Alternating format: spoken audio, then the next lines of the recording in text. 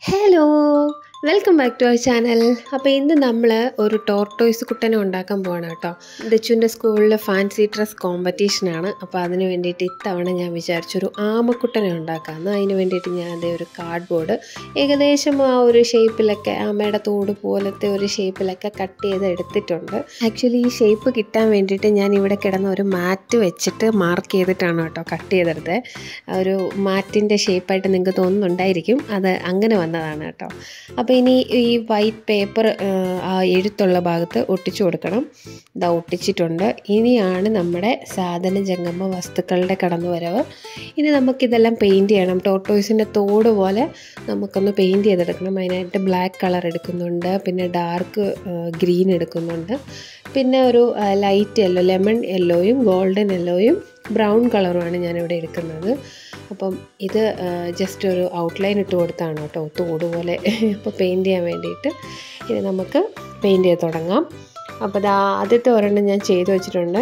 ഇനി ഈ ആദ്യം ലെമൺ യെല്ലോ അടിച്ചിട്ട് അതിന്റെ പുറകെ ഗോൾഡൻ യെല്ലോയുടെ ഒരു ഷെയ്ഡ് കൊടുക്കും.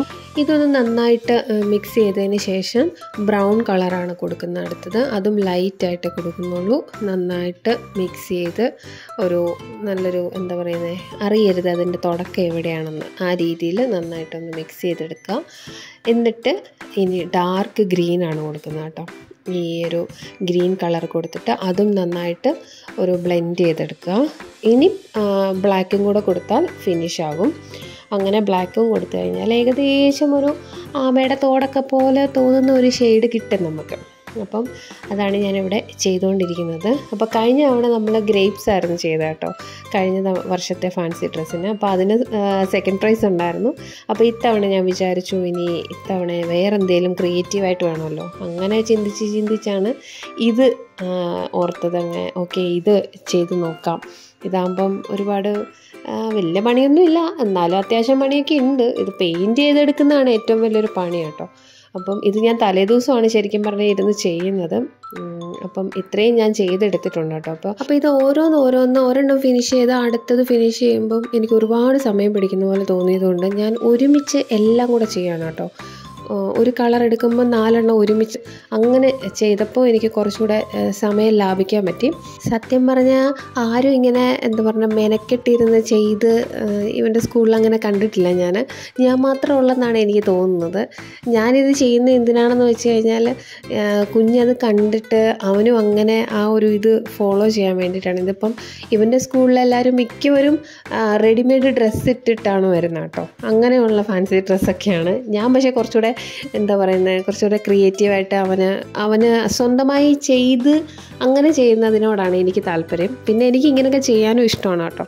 അതുകൊണ്ടും കൂടെയാണ് മെയിനായിട്ട് പിന്നെ പിള്ളേർ നമ്മളെ കണ്ടാണല്ലോ പഠിക്കുന്നത്. ഇപ്പം നമ്മൾ ഇപ്പം എളുപ്പത്തിന് വേണ്ടിയിട്ട് റെഡിമെയ്ഡ് ഡ്രസ്സൊക്കെ മേടിച്ച് അങ്ങനെ ചെയ്യിക്കുമ്പോൾ അതിലൊരു ഒരു എന്താ പറയുന്ന ഒരു എഫേർട്ട് ഇല്ലാത്ത പോലെ എനിക്ക് തോന്നും.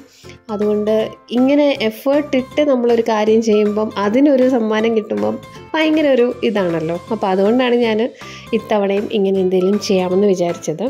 ഇവൻ വളരുമ്പോൾ ഇവനും പിന്നീട് ആ ഒരു പാത പിന്തുടരും എന്നാണ് എന്റെ ഒരു നിഗമനം. അറിയത്തില്ല ഇനി എങ്ങനെയാകുമെന്ന്.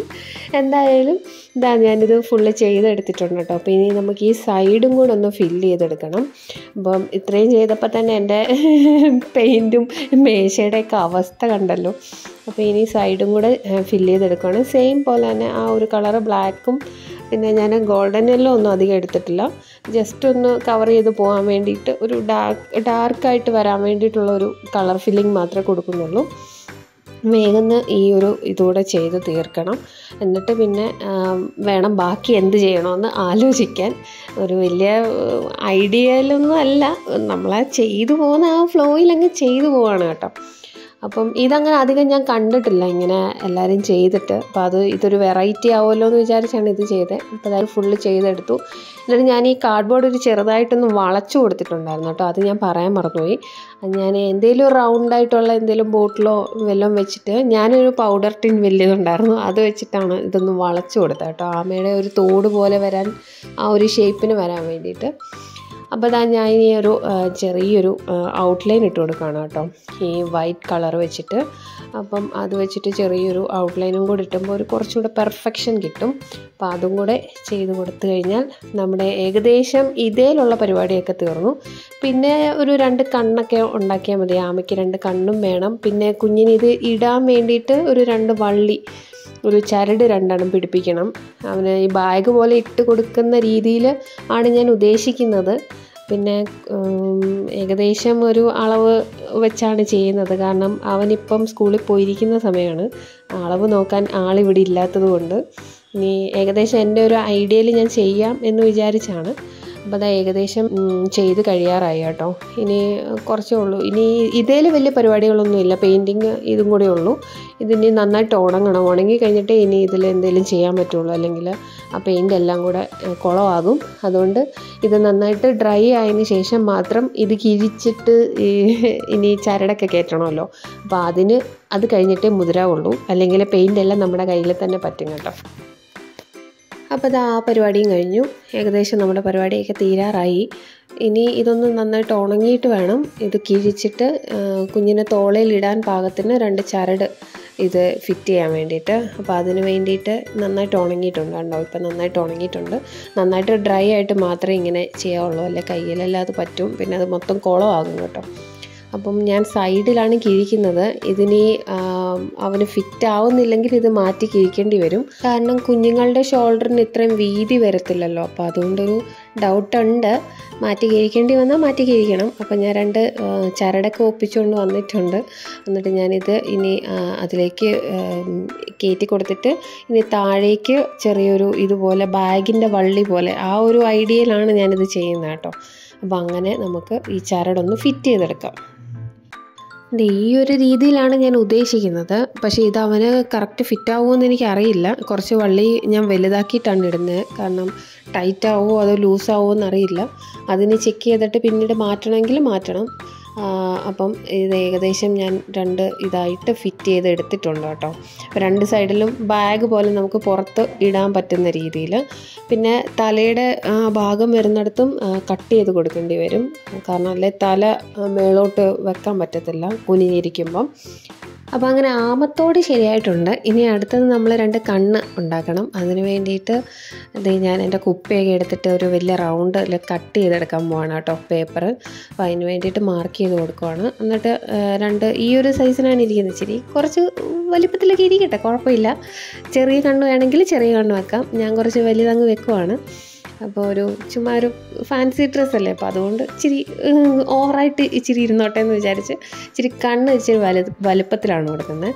എന്നിട്ട് ഞാനിത് കട്ട് ചെയ്തെടുത്തിട്ട് ഇനി അത് നമുക്കൊന്ന് സ്കെച്ച് വെച്ചിട്ടാണ് ചെയ്യുന്നത്. പെയിന്റ് ഒന്നും എടുക്കേണ്ട ആവശ്യമില്ല. എന്റെ കയ്യിലൊരു സ്കെച്ച് പെൻ ഉണ്ടായിരുന്നു. അപ്പോൾ അത് വെച്ചിട്ട് ഞാനൊരു രണ്ട് കണ്ണ് വരച്ചു കൊടുക്കുവാണ് കേട്ടോ. ചെറിയൊരു വട്ടം മാത്രമേ വരയ്ക്കുന്നുള്ളൂ നടുക്കായിട്ട്. ജസ്റ്റ് ഒരു റൗണ്ട് വരച്ച് അതൊന്ന് ഫില്ല് ചെയ്ത് കൊടുക്കേണ്ട ഒരു ആവശ്യമേ ഉള്ളൂ. വലിയ അലങ്കോല പണികളൊക്കെ ചെയ്ത് നമ്മൾ കുളവാക്കാതിരിക്കുന്നതാണ് എനിക്കും ബെറ്റർ അപ്പോൾ അതേ രണ്ട് കണ്ണ് ഇവിടെ റെഡി ആയിട്ടുണ്ട്. അപ്പോൾ ഇനി ഞാൻ ഇത് ഇത് ശരിക്കും അനുപേന്റെ ഹെൽമെറ്റിനകത്ത് വെക്കുന്ന ഒരു ക്യാപ്പാണ് കേട്ടോ. അപ്പോൾ ഞാൻ അത് അടിച്ചു മാറ്റി അതിലാണ് കണ്ണ് ഫിറ്റ് ചെയ്യാൻ പോകുന്നത്. ഇത് കുഞ്ഞിന്റെ രാവിലെ ഞാൻ വെച്ച് നോക്കിയായിരുന്നു സ്കൂളിൽ പോകുന്നതിന് മുന്നേ. അപ്പോൾ ഇത് അവന്റെ തലയ്ക്ക് ഫിറ്റാണ് നിങ്ങളുടെ കയ്യിൽ മങ്കി ക്യാപ്പോ അല്ലെങ്കിൽ വിന്റർ ക്യാപ്പൊക്കെ ഉണ്ടെങ്കിൽ അതിലൊക്കെ ഫിറ്റ് ചെയ്യാം. അപ്പം ഞാൻ ഇതിലാണ് വെക്കുന്നത്. അപ്പം ഇതാകുമ്പം ബ്ലാക്ക് കളറായതുകൊണ്ട് കുറച്ചുകൂടെ ഒരു ഇത് കിട്ടാൻ വേണ്ടിയിട്ട് ബ്ലാക്കാണ് എടുത്തത്. അപ്പോൾ ഇതിനി ഇങ്ങനെ തലയിൽ ബാക്കിൽ കണ്ണു വരുന്ന രീതിയിൽ വെക്കാൻ വേണ്ടിയാണ് എന്റെ ഐഡിയ. അപ്പോൾ കുഞ്ഞു വന്നിട്ട് നമുക്കിനി ട്രൈ ചെയ്ത് നോക്കാം. അപ്പോൾ അത് ദച്ചു വന്നിട്ട് ഇങ്ങനെയാണ് ഞാൻ ഉദ്ദേശിച്ചത് കേട്ടോ. അപ്പോൾ ഇതാ തലയുടെ ബാക്കിലാണ് കണ്ണ് വരുന്ന രീതിയിൽ. പിന്നെ ഞാൻ വള്ളി കുറച്ചുകൂടെ ചെറുതാക്കി നടുക്കോട്ടാക്കി കൊടുത്തു കേട്ടോ. കാരണം അവനത് ഫിറ്റ് ആവുന്നില്ല ആവുന്നില്ലായിരുന്നു ഊരി പോവായിരുന്നു തോളെ കൂടെ.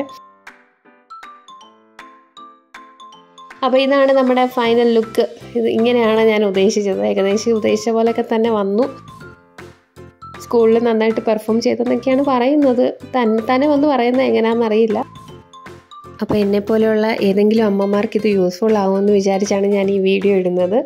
അപ്പോൾ നമ്മുടെ വീഡിയോ ഇത്രയേ ഉള്ളൂ. വീഡിയോ ഇഷ്ടപ്പെട്ടിട്ടുണ്ടെങ്കിൽ ലൈക്ക് ചെയ്യാനും കമന്റ് ചെയ്യാനും സബ്സ്ക്രൈബ് ചെയ്യാനും ഒന്നും മറക്കരുത്. അപ്പോൾ മറ്റൊരു വീഡിയോയിൽ കാണാം. അതുവരെ എല്ലാവരും സേഫായിട്ടും ഹാപ്പി ആയിട്ടിരിക്കുക. ബൈ